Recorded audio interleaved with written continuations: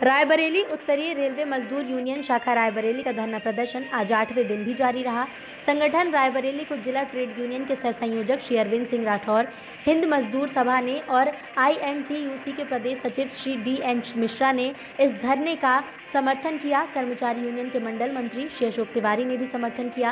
संगठन के महामंत्री श्री बी सी शर्मा जी और मंडल मंत्री लखनऊ श्री आर सिन्हा जी के द्वारा लगातार रेल प्रशासन पर दबाव बनाया जा रहा है। अफसरों की तानाशाही और भ्रष्टाचार शिकार विद्युत हेल्पर श्री राम कुमार यादव ज़िंदगी और मौत के बीच जूझ रहे हैं। बजाय भ्रष्टाचारी अधिकारी के ऊपर कार्रवाई करने के यूनियन के पदाधिकारी और कर्मचारी पर ही निराधार आरोप लगाकर प्रताड़ित किया जा रहा है जिसके लिए रेलवे मजदूर यूनियन किसी भी स्थिति में बर्दाश्त नहीं करेगा। चलेगा नहीं